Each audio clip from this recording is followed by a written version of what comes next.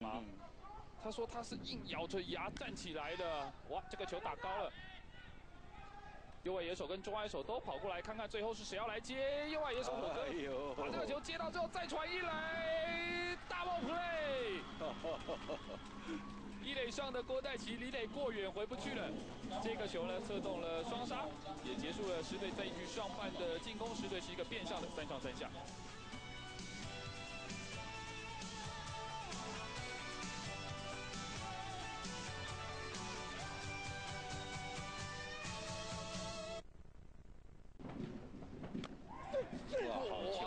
动被三振，陈连红眼睁睁。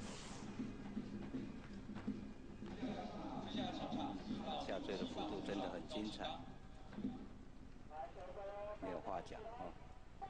我是不是陈连红？回棒落空，遭到了三振。外角的滑球，所以哈反应就会落差很大，想要收都来不及。有名的应该就是去年的季后赛。哇，又是遭到三振，又是站着不动被。东区的印第安人对洋基哈，张伯伦的救援和那个虫虫大战。哇，可是那也没有停赛。人家转播台里面也有有这种被侵占的危机啊。这个球高国庆挥棒落空，遭到了三振。白蚁对打者的干扰还比较大。因为那个区域的白蚁还蛮多的，反打，嗯，杨东一棒子就横过来哦，这个球点下去了，投手接到球之后转身要传三垒，三垒这边 out。这条件就是投手方向啊，然后滚动的很快，这两个条件都具备。呃，下球以后的穿球又穿得很准。对，三个条条件加在一起啊，形成封杀的一个状态。如果传外的话，可能就会造成满垒的一个局面。时间上差不多就是有一到，已经很恐怖喽。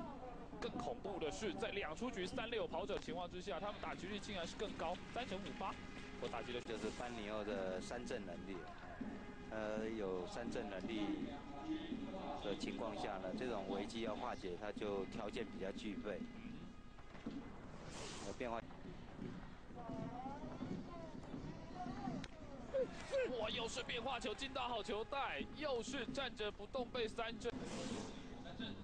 刘富豪个人这场比赛第二 K 了。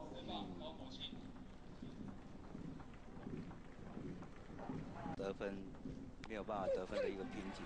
又是内角变化球掉进好球进了，真的不好打。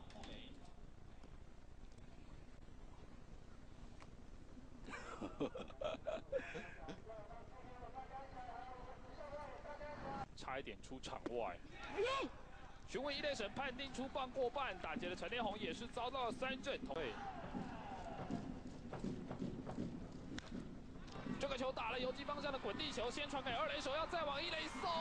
黄甘霖代打敲出了 double play，结束了同一支队在七局上半的攻势。狮队得点圈六支零，这个半局狮队没有得分。